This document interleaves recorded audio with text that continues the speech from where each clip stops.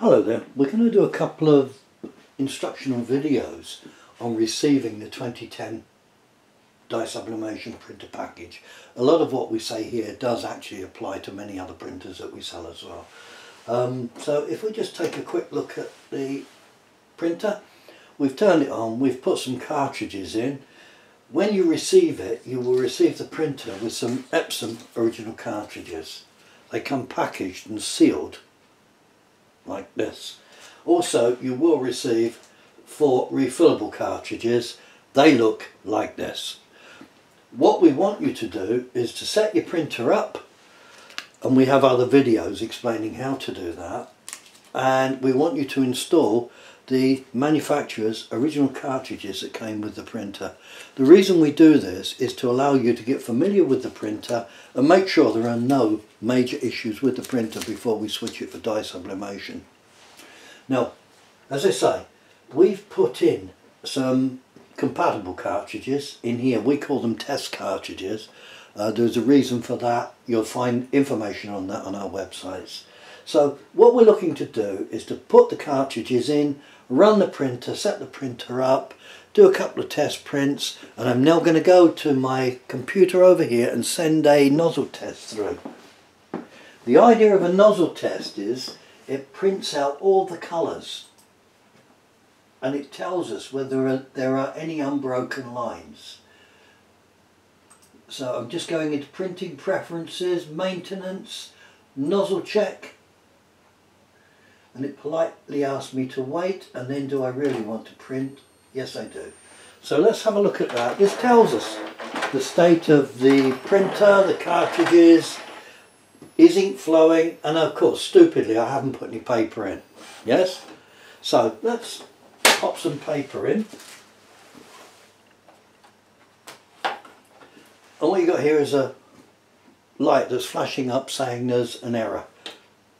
Press that.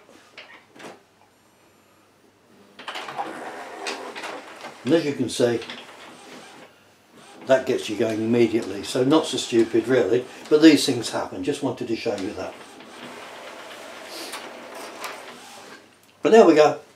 What you've got is a printout and you can see that you have all the various colours exactly as they should be. And you can see how many prints the printer's done, etc. Now, actually it's a good thing we've done this because there is a if you look at that piece of paper, um, end on, you can see that it's bent. That's due to it being coated on one side, uncoated on another. What we need to do is just to rectify that, I would take the paper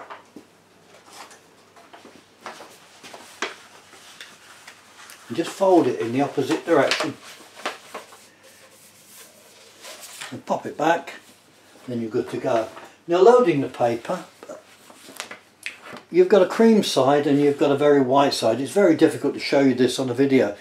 What you've also got is a very smooth side and a rougher side. You put it on the smooth side facing outward. And that's us good to go. So I'm going to take that paper away now. And we're going to pop some different paper in. Again, looking at it, smooth, rough, very white side, creamier side. Let's bob that one in there. And by the way, if you're putting a lot of paper in, it's always good to fan the paper first. And all you would do to do that is this. And as you can see, the paper separates. And you can also do it in the other direction. The paper separates. There we go. That breaks any cold burn weld and gets you going. Now let's go over and print that again.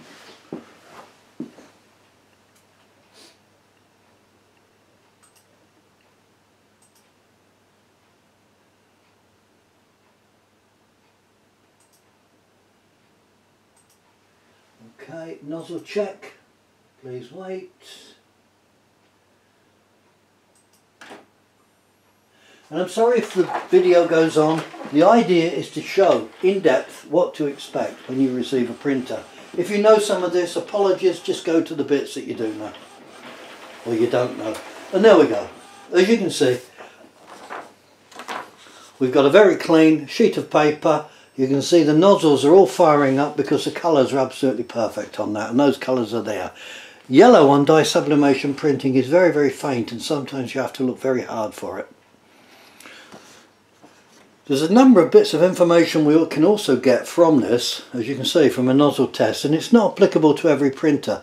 It's just to the 2010 and one or two other models. It tells us when the printer was set up, how many pages have been done. It gives us the firmware versions. It also gives us the printer serial number. So I'm hoping that that's helped you understand how to set your printer up when you receive it, put the right cartridges in, the genuine cartridges, Put the paper in correctly, check the paper to make sure it's not curled. If it is, roll it the opposite way to combat that. And then, if you do forget to put paper in, how simple it is to clear the fault just by pressing this button. That's the end of this phase of video. Now we're going to get on to filling cartridges and we're going to get on to installing the refillable cartridges. So let's go straight on to that. I've got a yellow cartridge here, refillable cartridge. And if we look at the cartridge, top to bottom, you've got the filling bung, you've got an air bung, and you've got the outlet bung. Now this is a used cartridge. So what you would normally receive is a cartridge with a complete seal on it. And by inserting the cartridge, it breaks the seal and feeds ink into the printer. Now, this air bung is quite important. If you receive cartridges with the air bung in, you must remove that air bung before you install the cartridges. The reason being, for every drop of ink that comes out the bottom here um, to be used by the printer, there has to be an appropriate volume of air, a drop of air, the equivalent. If you don't have that, air circulating through and the air replacing the liquid that comes out or the ink that comes out, what you get is a vacuum and you cannot get ink out the cartridge. Now, we've received several printers back in the past where customers have just installed the cartridges, not taken the bungs out, caused a vacuum, and they've come back and said it's faulty. I'm hoping that by showing and pointing this out, that breaks that cycle and gives a better understanding of what a refillable cartridge is and how to use it. Let's not waffle on too much, let's go ahead and fill that and then we'll put the refillable cartridges in. So there's our cartridge. And I'm sorry, I'm also doing this cack-handed. Normally I would be in a different position to do this.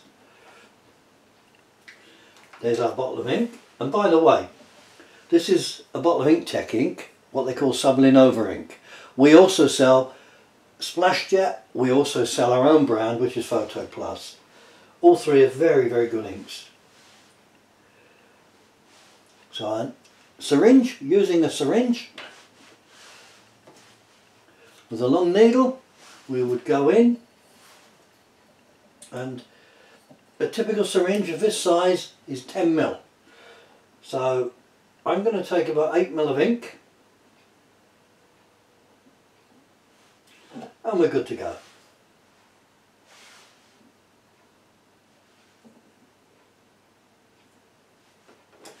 and again as I said you've got your filling bung you remove your filling bung and you remove your air bung. Well, let's leave the air bung in for now and let's just show you it can be filled without the air bung in.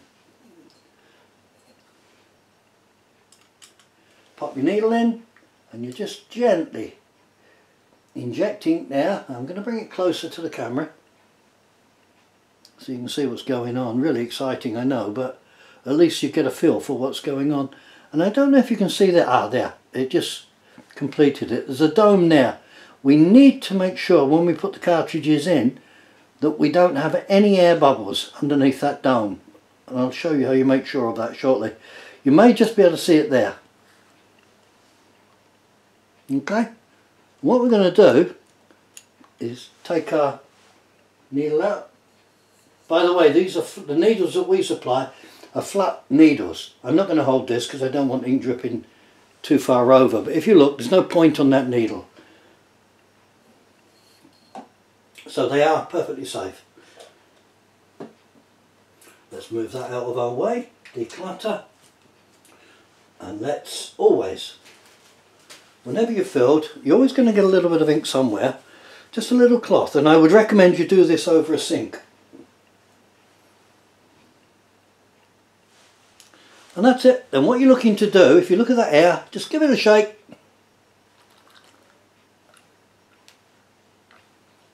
That's pretty good. And off we go. So, I filled three other cartridges earlier. Blue Peter moment, I guess. This is what we did earlier. And I'm now going to take this out and show you how you replace these. We know the printer's working fine because we've done the nozzle test so we're good. We take out the original cartridges or any other cartridge you've got in and all you would do is hold this in for up to 10 seconds. Four, five, six, seven, eight and I would expect then, there we go, we've got movement. Now sometimes when the cartridges are full it just tucks itself back under which is a bit of a pain. Other times it will park as it has done then. If it does tuck, keep tucking itself back under and it doesn't give you access to the cartridges, turn the printer off. Turn it back on again and when it's working, pull the power lead out the back of the printer. Pull this power lead out the back of the printer so that this carriage stops and you can freewheel it and then you can get them out that way. So let's take these cartridges out. I have a plastic bag here to try and protect things so if it rustles apologies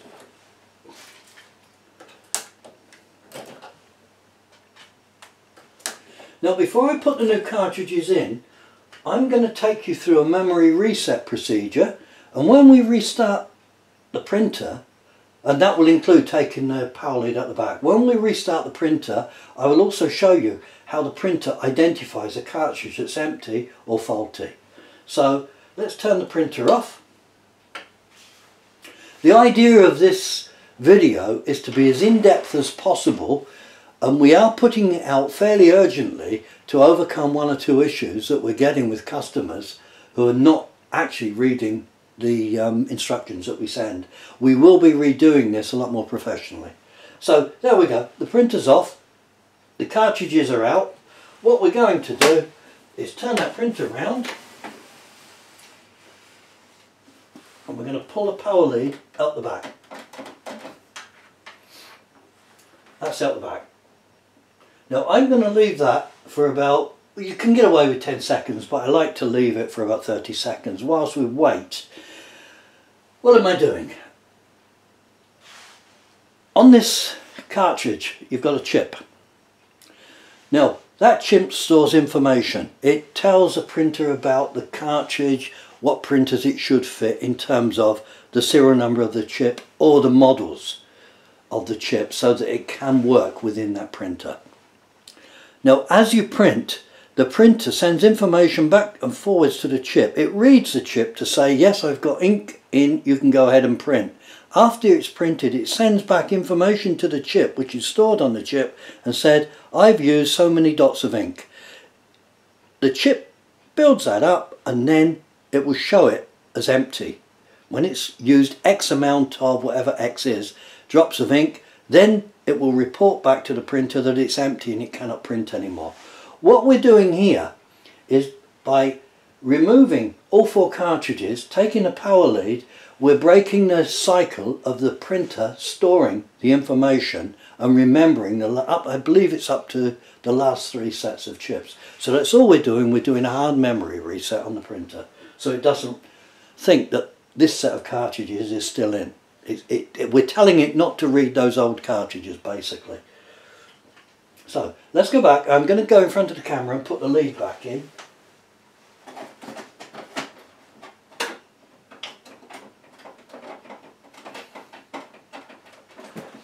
There we go. So the memory reset procedure would be take the cartridges out as I did, then turn the printer off and pull the power lead out. To reverse that you put the power lead in, still no cartridges in. No cartridges in the carriage.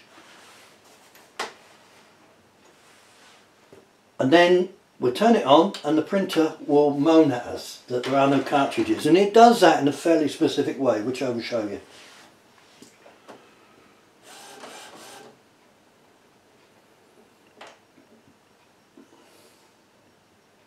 Okay, it's reporting that it's not happy. We've got an error light and on the, where this error light is we've got an ink drop icon and we've got a page icon. It's reporting it on the bottom icon which is the ink drop. So we know we, we have a bit of a problem. So let's press our button and see what it's telling us.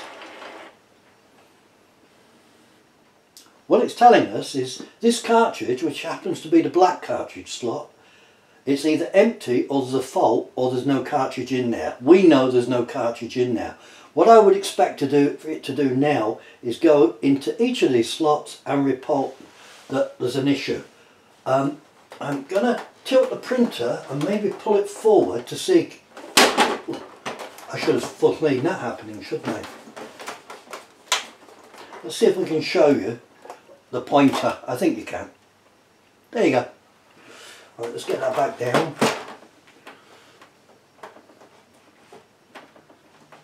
and let's press our button again there you go next one no cartridge or it's empty no cartridge or it's empty no cartridge or it's empty. Now it's demanding the cartridges. We've cleared the memory and what we're going to do now is we're going to bob in our refillable cartridges. Give them a shake and remember the air bung you take it out. So that's what it should look like when it goes in. I didn't check the TV screen. I hope I showed that. I'll do it again. The next one is the yellow cartridge, the one we filled. And give it a shake. Air bung. There you go, I checked on the screen that time. We'll take that out. That's what it should look like. The air bung out. And in it goes.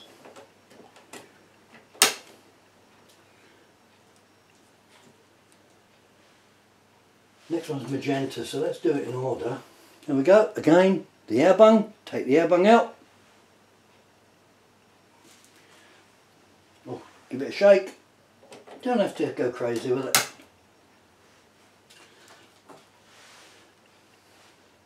Cyan, take the air bung out, give it a shake. Not very energetic, but it does the job. Did you notice the light goes straight out? So let's press the light. It's now going to read those cartridges, and if it likes what it sees, it'll accept them. If it doesn't, it'll go to that pointer. There we go. Now it's reporting a problem. You can see that here. What we would do is let's find out what that problem is.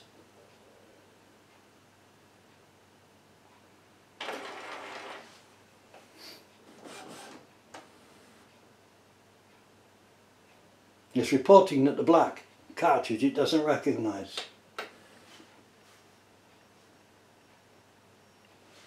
What you would do there is we sell cartridges with different type of chips and I'm sorry to have to deviate here.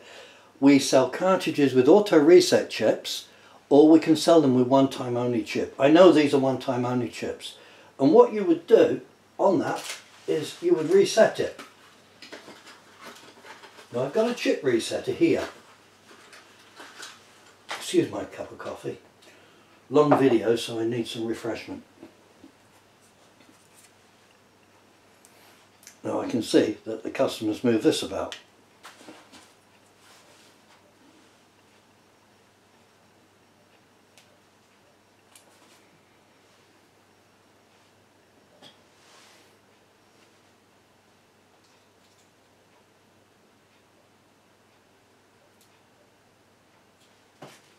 I just did that because I want to see how this should relate and it should be like that. There we go, I've set that. And we would take the black cartridge out and we would pop it in there. Just bring it down. I don't know if you can see this. Um, I'm going to go the other side to see if you can get a better and I can't see the TV so there we go we're going to do that that and it's not setting that chip is it and that's going to be a problem there we go it's reset it you should be able to see the green there I'm ever so sorry but I'm the wrong way so let's pop that in and see if it clears the fault. It may, it may not. If it doesn't, we're going to need a different cartridge.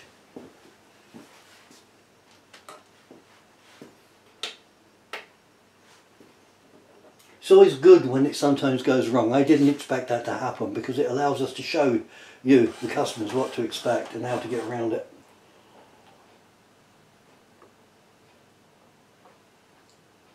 There we go, that's a bonus. That seems to have all been accepted. And because it wanted to mess us around as printers do, we've been able to show you a couple of things to clear a couple of problems. So that is a bonus. Now what I would do at this stage is go to my computer and we will do videos showing you screenshots of this and we will also put those up on the website but they're not ready just yet so please just go with this for now. I would go in and I would want to do a quick head clean. Now it comes up, it says it looks like you are using non-genuine ink cartridges. We know that. We are going to ask it to continue. Excuse me. And then we're going to start and we're going to do a head clean. That's going to take us a couple of minutes. And what it's doing is it's moving ink fast through the printer, all the tubes in all the various galleries. And it's replacing, what we want to do in this instance is replace that desktop ink with dye sublimation ink. We're also going to print a test print and I'm going to go and find that on the screen now. I should have done that before in our technical file and get that ready to print. And what that will also do is help us in this process of getting us converted from desktop ink to sublimation ink, sublimation printing. Just bear with me if I go quiet for a second. I need to just find, and apologies, I really should have got this up on screen before I started. Tech file all um, four test page. Oh. Not that difficult. My goodness, we're organised.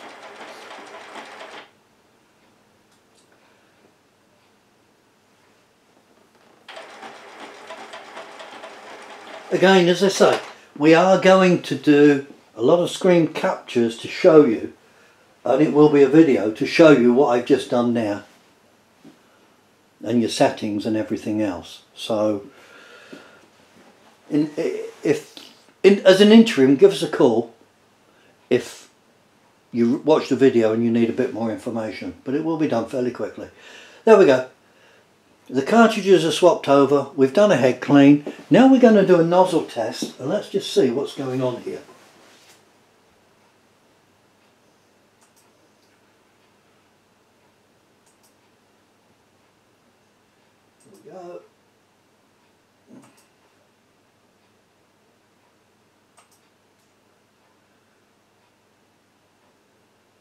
Right, they just told it to print.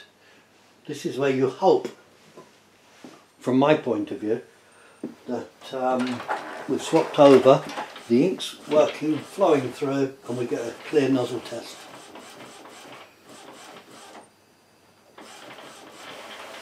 There we go, perfect. Now, I was wrong earlier when I pointed out that sublimation ink on the yellow, you couldn't see it. Of course, we were looking at desktop ink, so apologies for that. You're now looking at a sublimation ink. I think you can see it's just a little bit harder to see the yellow. The magenta black and cyan, okay, but as you can see there, everything's clear and we've effectively converted this to a sublimation printer. Now what we're going to do is one last thing. We like to make certain that we get all that desktop ink out and all we would do, if you ask us, if you need one, we can send you a test sheet with four colours on it and we do three prints of that. So let's do that without further ado. Um, sorry, as I've got older I need to shut up sometimes and think.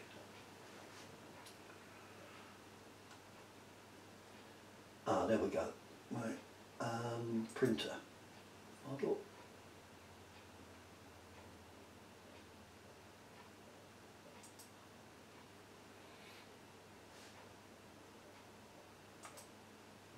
Properties, set your properties. This is a test sheet, just set your properties to Epson matte and high quality. That'll push more ink through, go and print.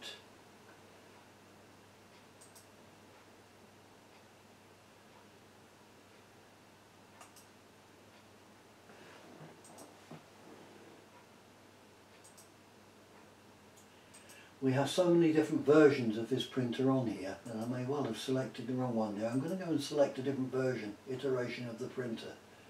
Epson matte. I. Okay, and print. Ah, yes, apologies, I selected the wrong printer, as you do. Now whilst it's printing this, I'm going to clean the top up top of the desk up of the bits that we really that we've discussed and we don't need to deal with anymore. Because we're going to get the old press out shortly and uh, make a mug.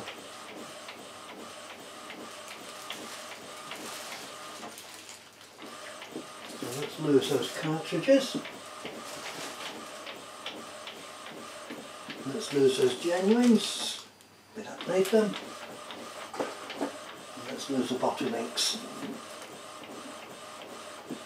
Declutter, um, less chances of an issue.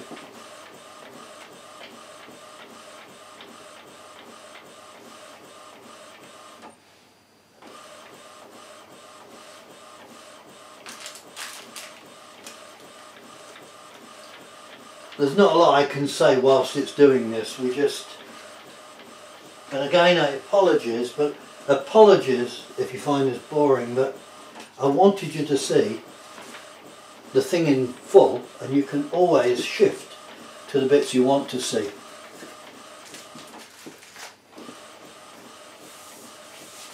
You know, fast forward and all the rest of that.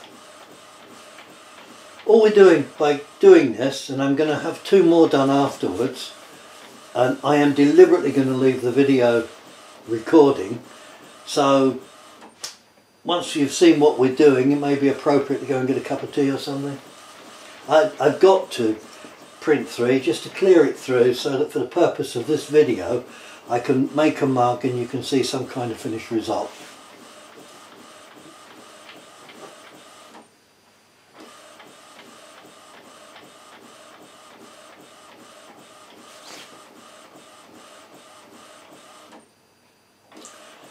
By the way, you can ask us to send you this sheet.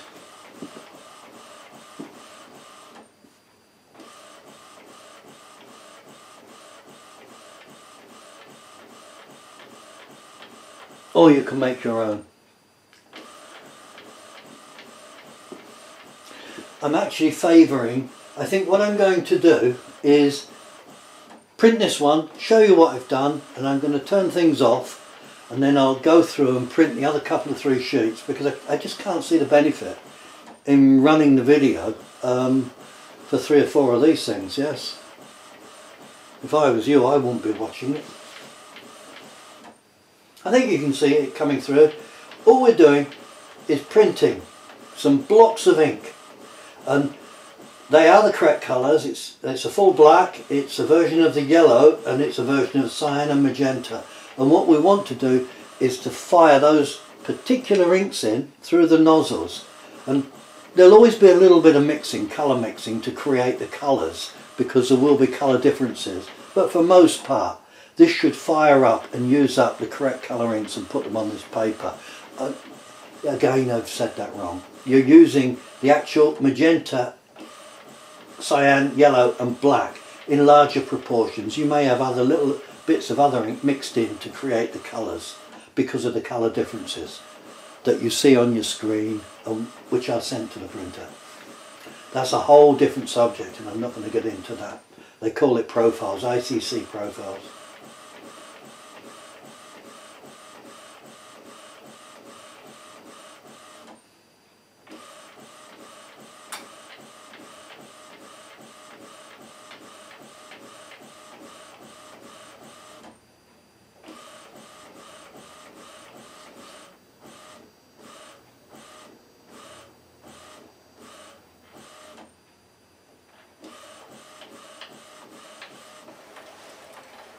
There we go. I think you can see what we've done.